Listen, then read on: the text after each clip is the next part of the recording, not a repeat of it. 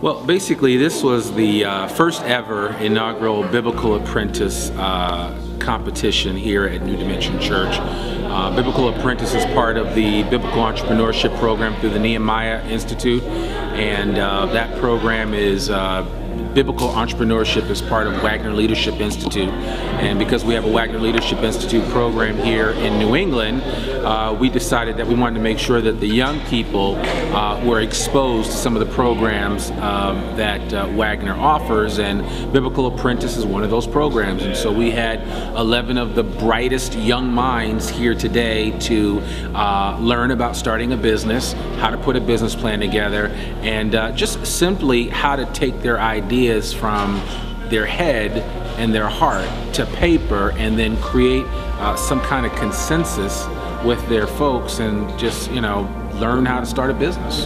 So it's just a really exciting time and I can't wait to find out who the winner is.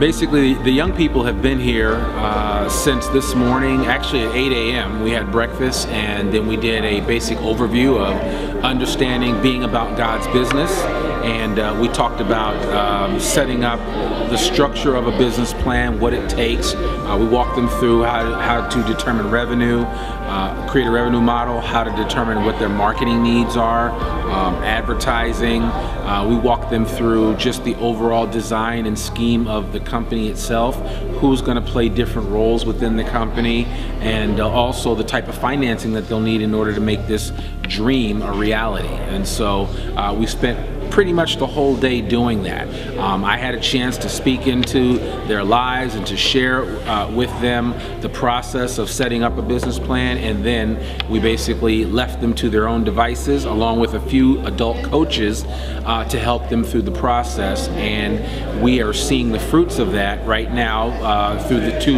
business presentations that we just had and now we're just waiting with eager anticipation for their final results.